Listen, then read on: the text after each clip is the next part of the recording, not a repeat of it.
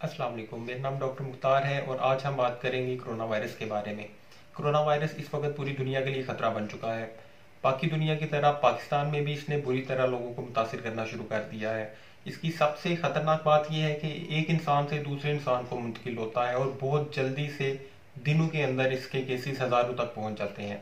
تو میں آپ کو بتاؤں گا کہ اس ساری صورتحال میں آپ اپنی امیونٹی کو کس طرح بوسٹ کر سکتے ہیں تاکہ آپ اس مہلک بیماری سے بچے رہ سکیں۔ اپنی نیند پوری کریں۔ نیند قوت مدافعت کو مضبوط کرتی ہے۔ مناسب نیند پوری نہ کرنے سے جسم میں سائٹوکائنز کم بنتے ہیں۔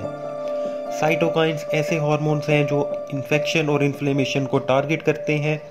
یہ ہارمونز نیند کے دوران ہوتے ہیں اور ریلیز ہوتے ہیں۔ کم سونے سے جسم میں سائٹوکائنز کم بنیں گے اور انفیکشن ہونے کے چانسز زیادہ ہو جائیں گے۔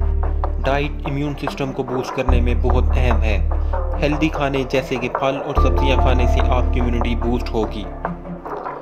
پھل اور سبزیاں آنتوں میں ایسے بیکٹیریا کی تعداد میں اضافہ کرتے ہیں جو جسم کے لیے مفید ہوتے ہیں۔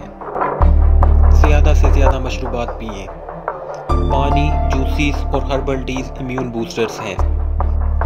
کولڈ ڈرنکس اور کیفین مت پئیں یہ جسم میں پانی کی کمی کرتے ہیں اور امیونٹی کو کم کرتے ہیں۔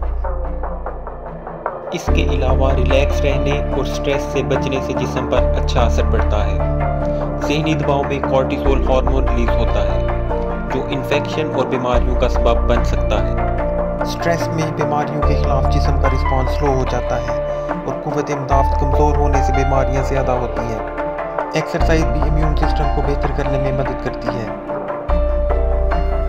یوگا کرنے سے کورٹیزول لیول کم ہوتے ہیں اور باڈی انفیکشنز کو بہتر طریقے سے ٹیکل کر سکتی ہے۔ باقاعدگی سے ایکسرسائز کرنے سے ٹی سیل موبلائز ہوتے ہیں۔ T cells white blood cells کی ایسی قسم ہے جو جسم کو انفیکشن سے بچاتے ہیں۔ وائٹامنز اور نیوٹرینٹس کا استعمال کریں۔